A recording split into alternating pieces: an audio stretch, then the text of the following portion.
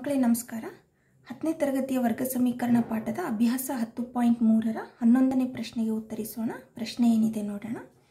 ಎರಡು ಚೌಕಗಳ ವಿಸ್ತೀರ್ಣಗಳ ಮೊತ್ತವು. ಕ್ರಮ, ನನ್ನೂರ ಅರವತ್ತೆಂಟು ಚದರ ಮೀಟರ್. ಅವುಗಳ ಸುತ್ತಳತೆಗಳ ವ್ಯತ್ಯಾಸವು ಇಪ್ಪತ್ನಾಲ್ಕು ಮೀಟರ್ ಆದರೆ ಚೌಕಗಳ ಬಾಹುಗಳ ಅಳತೆಯನ್ನು ಕಂಡುಹಿಡಿಬೇಕಂತ ಹೇಳಿದ್ದಾರೆ. ಇಲ್ಲಿ ಎರಡು ಚೌಕಗಳನ್ನು ಕೊಟ್ಟಿದ್ದಾರೆ. ಎರಡು ಚೌಕಗಳ ವಿಸ್ತೀರ್ಣಗಳ ಮೊತ್ತ, ಅಂದರೆ ಇದರ ವಿಸ್ತೀರ್ಣ ಮತ್ತು ಇದರ ವಿಸ್ತೀರ್ಣ, ಇವೆರಡರ ವಿಸ್ತೀರ್ಣಗಳನ್ನು ಕೂಡಿಸಿದರೆ ನಮಗೆ ನಾನ್ನೂರ ಅರವತ್ತೆಂಟು ಚದರ ಮೀಟರ್ ಬರುತ್ತೆ ಅಂತ ಹೇಳಿದ್ದಾರೆ. ಅವುಗಳ ಸುತ್ತಳತೆಗಳ ವ್ಯತ್ಯಾಸ, ಅಂದರೆ ಇದರ ಸುತ್ತಳತೆ ಮತ್ತು ಇದರ ಸುತ್ತಳತೆ, ಇವೆರಡರ ವ್ಯತ್ಯಾಸವು ಇಪ್ಪತ್ನಾಲ್ಕು ಮೀಟರ್ ಆದರೆ ಈ ಎರಡು ಚೌಕಗಳ ಬಾಹುಗಳ ಅಳತೆಯನ್ನು ಕಂಡುಹಿಡ್ಕೋಬೇಕು ನಾವು ಮೊದಲನೇ ಚೌಕದ ಬಾಹುವಿನ ಅಳತೆ ಎಕ್ಸ್ ಮೀಟರ್ ಅಂತ ಇಟ್ಕೊಳ್ಳೋಣ, ಅಂದರೆ ಇದು ಎಕ್ಸ್ ಆಗುತ್ತೆ. ಇದು ಚೌಕ ಆಗಿರೋದ್ರಿಂದ ನಾಲ್ಕು ಬಾಹುಗಳು ಕೂಡ ಎಕ್ಸ್ ಮೀಟರ್ ಆಗ್ತವೆ. ಎರಡನೇ ಚೌಕದ ಬಾಹುಗಳನ್ನು ವೈ ಮೀಟರ್ ಅಂತ ಇಟ್ಕೊಳ್ಳೋಣ. ಇದು ವೈ ಇದು ವೈ ಇದು ವೈ ಈಗ ಮೊದಲನೇ ಚೌಕದ ವಿಸ್ತೀರ್ಣ ಏನಾಗುತ್ತೆ? ಎಕ್ಸ್ ಸ್ಕ್ವೇರ್ ಚೌಕದ ವಿಸ್ತೀರ್ಣಕ್ಕೆ ಸೂತ್ರ ಬಾಹು ಸ್ಕ್ವೇರ್ ಇದೆಯಲ್ಲ ಹಾಗಾಗಿ ಈ ಚೌಕದ ವಿಸ್ತೀರ್ಣ ಎಕ್ಸ್ ಸ್ಕ್ವೇರ್ ಆಗುತ್ತೆ. ಈ ಚೌಕದ ವಿಸ್ತೀರ್ಣ ವೈ ಸ್ಕ್ವೇರ್ ಆಗ ಚೌಕಗಳ ವಿಸ್ತೀರ್ಣಗಳ ಮೊತ್ತ ಅಂತ ಹೇಳ್ಯಾರಂದರೆ ಎಕ್ಸ್ ಸ್ಕ್ವೇರನ್ನು ಮತ್ತು ವೈ ಸ್ಕ್ವೇರನ್ನು ಇವೆರಡನ್ನು ಕೂಡಿಸಿದರೆ ನಮಗೆ ಎಷ್ಟು ಬರಬೇಕು? ನಾನ್ನೂರ ಅರವತ್ತೆಂಟು ಬರುತ್ತೆ ಅಂತ ಹೇಳಿದ್ದಾರೆ. ಹಾಗೂ ಸುತ್ತಳತೆಗಳ ವ್ಯತ್ಯಾಸ ಅಂದರೆ ಮೊದಲನೇ ಚೌಕದ ಸುತ್ತಳತೆ ನಾಲ್ಕು ಎಕ್ಸ್ ಎರಡನೇ ಚೌಕದ ಸುತ್ತಳತೆ ನಾಲ್ಕು ವೈ ಇವುಗಳ ವ್ಯತ್ಯಾಸ ಅಂದರೆ ಇವೆರಡನ್ನು ಕಳೆದ್ರೆ ಇಪ್ಪತ್ನಾಲ್ಕು ಮೀಟರ್ ಬರುತ್ತೆ ಅಂತ ಹೇಳಿದ್ದಾರೆ. ಹಾಗಾದರೆ ನಾವು ಇದರ ಬಾಹುವಿನ ಅಳತೆ, ಇದರ ಬಾಹುವಿನ ಅಳತೆಯನ್ನು ಕಂಡುಹಿಡಿಯಬೇಕು ಹೇಗೆ ಕಂಡುಹಿಡಿಬೇಕು ಅನ್ನೋದನ್ನು ನೋಡೋಣ. ಮೊದಲಿಗೆ ಎರಡು ಚೌಕಗಳು. ಮೊದಲನೇ ಚೌಕದ ಬಾಹುವಿನ ಅಳತೆ ಎಕ್ಸ್ ಅಂತ ಇಟ್ಕೊಳ್ಳೋಣ. ಎಕ್ಸ್ ಮೀಟರ್ಗಳು. ಮತ್ತೊಂದು ಚೌಕ, ಇದರ ಬಾಹುವಿನ ಅಳತೆ ವೈ ಮೀಟರ್ ಅಂತ ಇಟ್ಕೊಳ್ಳೋಣ. ಅಂದರೆ ನಾಲ್ಕು ಬಾಹುಗಳು ವೈ ಮೀಟರ್ಗಳಾದವು. ಮೊದಲನೇ ಚೌಕದ ಬಾಹುವಿನ ಅಳತೆ ಎಕ್ಸ್ ಆದರೆ ಇದರ ವಿಸ್ತೀರ್ಣ ಎಕ್ಸ್ ಸ್ಕ್ವೇರ್ ಆಗುತ್ತೆ. ಎರಡನೇ ಚೌಕದ ಬಾಹುವಿನ ಅಳತೆ ವೈ ಆದರೆ ಇದರ ವಿಸ್ತೀರ್ಣ ವೈ ಸ್ಕ್ವೇರ್ ಆಗುತ್ತೆ. ಈಗ ಬರ್ಕೊಳ್ಳೋಣ. ಚೌಕಗಳ ಬಾಹುಗಳ ಅಳತೆ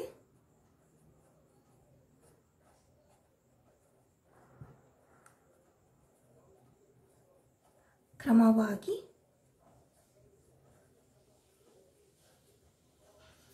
ಎಕ್ಸ್ ಮತ್ತು ವೈ ಆಗಿರಲಿ. ಎಕ್ಸ್ ಮೀಟರ್ ಹಾಗೂ ವೈ ಮೀಟರ್ ಆಗ ಅವ್ರೇನು ಹೇಳಿದ್ದಾರೆ ವಿಸ್ತೀರ್ಣಗಳ ಮೊತ್ತ ಅಂದರೆ X square plus Y square X square plus Y square equal to ನನ್ನೂರ ಅರವತ್ತೆಂಟು ಚದರ ಮೀಟರ್ ಅಂತ ಹೇಳಿದ್ದಾರೆ ಇದು ಒಂದು ದತ್ತಾಂಶ.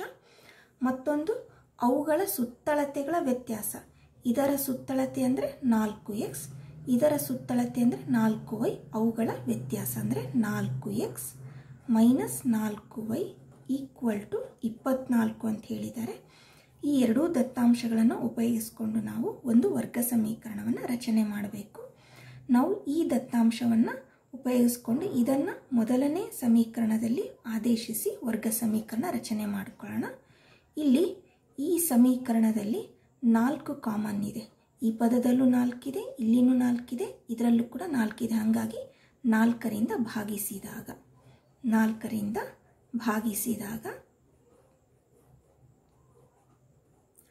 ಈ ಪದವನ್ನು ನಾಲ್ಕರಿಂದ ಭಾಗಿಸಿದರೆ, ಅಂದರೆ ಇದನ್ನು ನಾಲ್ಕರಿಂದ ಭಾಗಿಸಿದಾಗೆ ನಾಲ್ಕು ಒಂದಲೇ ನಾಲ್ಕು ಒಂದಲೇ ಕ್ಯಾನ್ಸಲ್ ಆಗಿ ಬರೀ ಎಕ್ಸ್ ಉಳಿಯುತ್ತೆ. ಇಲ್ಲಿ ಕೂಡ ನಾಲ್ಕರಿಂದ ಭಾಗಿಸಿದಾಗ ವೈ ಉಳಿಯುತ್ತೆ. ಇದನ್ನು ನಾಲ್ಕರಿಂದ ಭಾಗಿಸಿದಾಗ ಆರು ಉಳಿಯುತ್ತೆ. ಅಂದರೆ ಇದು ಎಕ್ಸ್ ಇದು ಮೈನಸ್ ವೈ ಈಕ್ವಲ್ ಟು ಆರು. ಈ ಥರ ಬಂತು. ಇಲ್ಲಿ ಏನು ಮಾಡೋಣ? ಎಕ್ಸ್ ಹಾಗೆ ಇಟ್ಕೊಂಡು ಎಕ್ಸ್ ಹಾಗೆ ಇಟ್ಕೊಂಡು ವೈಯನ್ನು ಬಲಭಾಗಕ್ಕೆ ಕಳಿಸೋಣ. ಎಕ್ಸ್ ಈಕ್ವಲ್ ಟು ಆರು ಪ್ಲಸ್ ವೈ ಆಯಿತು. ಈಗ ಎಕ್ಸಿಗೆ ನಾವು ಆರು ಪ್ಲಸ್ ವೈ ಅಂತ ಮೊದಲನೇ ಸಮೀಕರಣದಲ್ಲಿ ಆದೇಶಿಸೋಣ. ಇಲ್ಲಿ ಎಕ್ಸ್ ಬದಲಾಗಿ ಆರು ಪ್ಲಸ್ ವೈ ಆರು plus Y whole square plus ಇದು ವೈ ಸ್ಕ್ವಯರ್ ಈಕ್ವಲ್ ಟು ನಾನ್ನೂರ ಅರವತ್ತೆಂಟಾಯಿತು ಇಲ್ಲಿ ಇಲ್ಲಿ ಇದನ್ನೇನು ಮಾಡೋಣ? A plus B whole square ನಿತ್ಯ ಸಮೀಕರಣವನ್ನು ಉಪಯೋಗಿಸಿ ವಿಸ್ತರಿಸಿ ಬರ್ಕೊಳ್ಳೋಣ.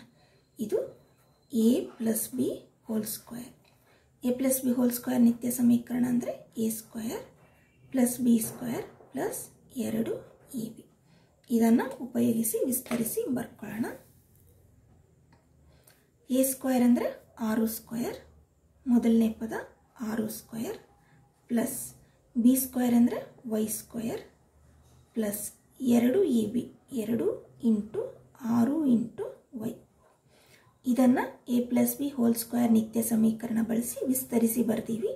ನಂತರ ಏನಿದೆ? Plus Y square plus Y square equal to ನಾನ್ನೂರ ಅರವತ್ತೆಂಟು.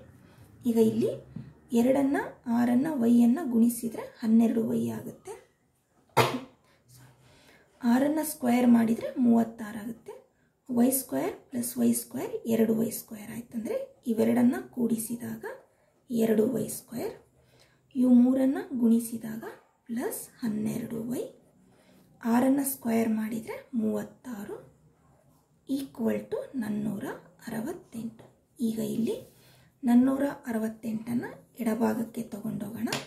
ಆಗ ಅದು ಎರಡು ವೈ ಸ್ಕ್ವೇರ್ ಪ್ಲಸ್ ಹನ್ನೆರಡು ವೈ ಪ್ಲಸ್ ಮೂವತ್ತಾರು ಮೈನಸ್ ನಾನ್ನೂರ ಅರವತ್ತೆಂಟು ಈಕ್ವಲ್ ಟು ಝೀರೋ. ಈಗ ಇವೆರಡನ್ನು ಕಳೆದಾಗ ಮೈನಸ್ಸು ಪ್ಲಸ್ ಇದೆ. ಕಳೆದಾಗ ಎಷ್ಟು ಬರುತ್ತೆ ನೋಡೋಣ.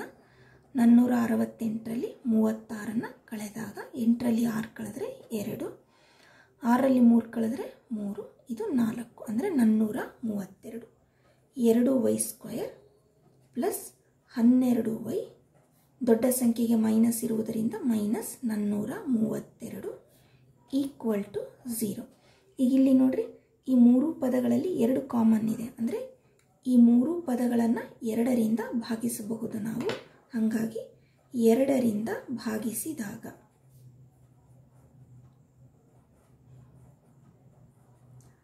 ಎರಡರಿಂದ ಭಾಗಿಸಿದಾಗ ಈ ಪದವನ್ನು ಎರಡರಿಂದ ಭಾಗಿಸಿದರೆ ವೈ ಸ್ಕ್ವೇರ್ ಉಳಿಯುತ್ತೆ. ಈ ಪದವನ್ನು ಎರಡರಿಂದ ಭಾಗಿಸಿದರೆ ಆರು ವೈ ಉಳಿಯುತ್ತೆ. ಈ ಪದವನ್ನು ಎರಡರಿಂದ ಭಾಗಿಸಿದರೆ ಎರಡ ಎರಡಲೆ ನಾಲ್ಕು, ಎರಡ ಒಂದಲೆ ಎರಡು ಒಂದು ಉಳಿಯಿತು ಎರಡಾರಲೆ ಹನ್ನೆರಡು, ಅಂದರೆ ಇನ್ನೂರ ಹದಿನಾರು ಬರುತ್ತೆ. ವೈ ಸ್ಕ್ವೇರ್ ಪ್ಲಸ್ ಆರು ವೈ ಮೈನಸ್ ಇನ್ನೂರ ಹದಿನಾರು ಈಕ್ವಲ್ ಟು ಝೀರೋ ಬಂತಲ್ಲ ವರ್ಗ ಸಮೀಕರಣ. ಇಲ್ಲಿ ಚರಾಕ್ಷರ ವೈನಲ್ಲಿ ಬಂದಿದೆ. ಯಾಕೆಂದರೆ ನಾವಿಲ್ಲಿ ಎಕ್ಸಿಗೆ ಆದೇಶಿಸಿದ್ದೀವಿ ನಾವು ವೈಗೆ ಆದೇಶಿಸಿದರೆ ಎಕ್ಸ್ ಚರಾಕ್ಷರ ಎಕ್ಸಿನಲ್ಲಿರುವ ಸಮೀಕರಣ ಬರ್ತಿತ್ತು. ನಾವು ಎಕ್ಸ್ ಬದಲಾಗಿ ಆರು ಪ್ಲಸ್ ವೈ ಅಂತ ಬರೆದಿರೋದ್ರಿಂದ ಇಲ್ಲಿ ಚರಾಕ್ಷರ ವೈನಲ್ಲಿರುವಂತಹ ಸಮೀಕರಣ ಬಂದಿದೆ. ಈಗ ಇದನ್ನು ಸೂತ್ರದ ವಿಧಾನ ಬಳಸಿ ಬಿಡಿಸ್ಕೊಳ್ಳೋಣ. ನೀವು ಪರೀಕ್ಷೆಯಲ್ಲಿ ಇದನ್ನು ನೇರವಾಗಿ ಅಪವರ್ತನ ವಿಧಾನ ಕೂಡ ಬಳಸಿ ಬಿಡಿಸಬಹುದು. ಈ ಪ್ರಶ್ನೆ ಸೂತ್ರದ ವಿಧಾನದ ಮೇಲಿರೋದ್ರಿಂದ ಇದನ್ನು ಸೂತ್ರದ ವಿಧಾನ ಉಪಯೋಗಿಸಿ ಬಿಡಿಸೋಣ. ಇಲ್ಲಿ ಎ ಬದಲಾಗಿ ಎ ಸ್ಥಾನದಲ್ಲಿ ಒಂದಿದೆ. ಅಂದರೆ ಈ ಸಮೀಕರಣವು A X square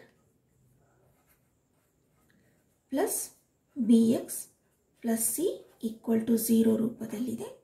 ಎ ಸ್ಥಾನದಲ್ಲಿ ಒಂದಿದೆ. ಬಿ ಸ್ಥಾನದಲ್ಲಿ ಆರಿದೆ. ಸಿ ಬದಲಾಗಿ ಮೈನಸ್ ಇನ್ನೂರ ಹದಿನಾರು. ಎ ಈಕ್ವಲ್ ಟು ಒಂದು ಬಿ ಈಕ್ವಲ್ ಟು ಆರು ಸಿ ಈಕ್ವಲ್ ಟು ಮೈನಸ್ ಇನ್ನೂರ ಹದಿನಾರು. ಈಗ ಸೂತ್ರ ಏನು? ಶ್ರೀಧರನ ಸೂತ್ರ X equal to minus B plus ಅಥವಾ minus square root of B square minus ನಾಲ್ಕು A C whole divided by ಎರಡು ಎ ಇಲ್ಲಿ ಚರಾಕ್ಷರ ವೈ ಇರೋದ್ರಿಂದ ಎಕ್ಸ್ ಬದಲಾಗಿ ವೈ ಬರೆಯೋಣ. Y equal to minus B ಅಂದರೆ ಆರು ಪ್ಲಸ್ ಅಥವಾ minus square root of B square ಅಂದರೆ ಆರು ಸ್ಕ್ವೇರ್ ಮೈನಸ್ ಇದು ನಾಲ್ಕು. ಎ ಅಂದರೆ ಒಂದು ಇಂಟು ಸಿ ಅಂದರೆ ಮೈನಸ್ ಇನ್ನೂರ ಹದಿನಾರು.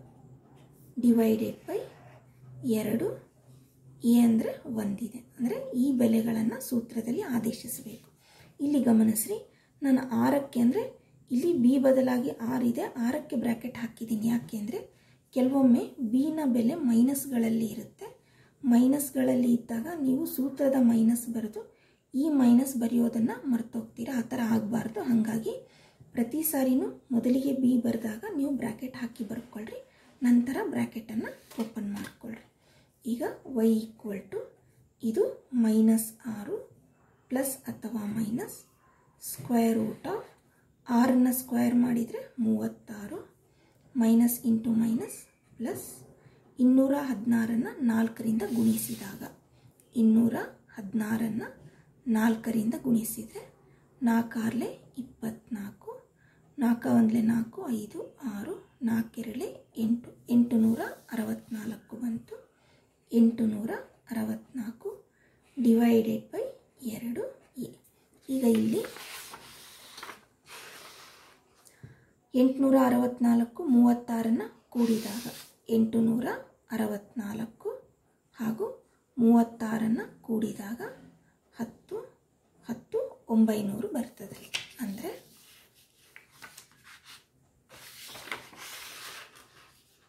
ಇಲ್ಲಿ ವೈ ಈಕ್ವಲ್ ಟು ಮೈನಸ್ ಆರು ಪ್ಲಸ್ ಅಥವಾ ಮೈನಸ್ ರೂಟ್ ಒಂಬೈನೂರು ಡಿವೈಡೆಡ್ ಬೈ ಎರಡು ಎ ಇದು ಎರಡಾ ಒಂದಲೇ ಎರಡು, ಹಾಗಾಗಿ ಎರಡು.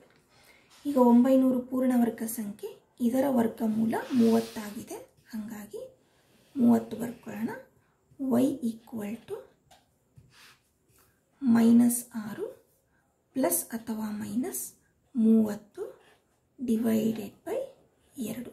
ಈಗ ಪ್ಲಸ್ ಇದ್ದಾಗ ಒಂದು ಉತ್ತರ ಬರುತ್ತೆ ಮೈನಸ್ ಇದ್ದಾಗ ಮತ್ತೊಂದು ಉತ್ತರ ಬರುತ್ತೆ. ಫಸ್ಟು ಪ್ಲಸ್ ತೊಗೊಂಡು ನೋಡೋಣ.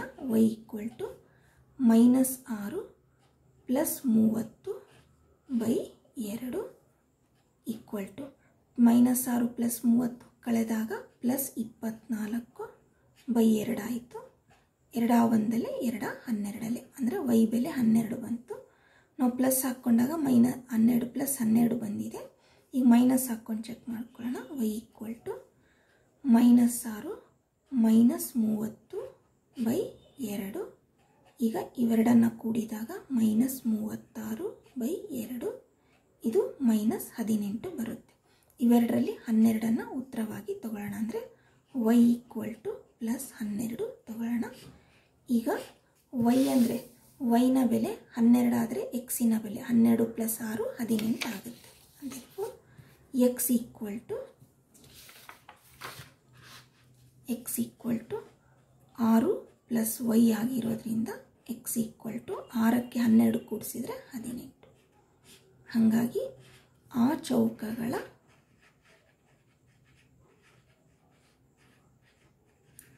ಬಾಹುಗಳ ಅಳತೆಗಳು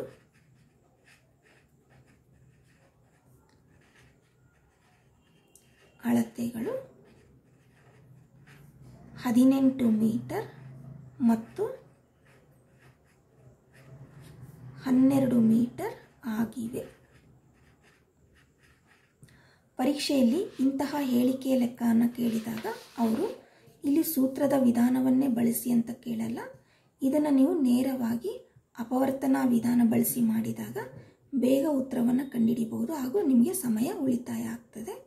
ಇಲ್ಲಿ ಸೂತ್ರದ ವಿಧಾನ ಇರೋದರಿಂದ ನಾವು ಸೂತ್ರದ ವಿಧಾನವನ್ನು ಬಳಸಿ ಉತ್ತರವನ್ನು ಕಂಡುಹಿಡ್ಕೊಂಡಿದ್ದೀವಿ.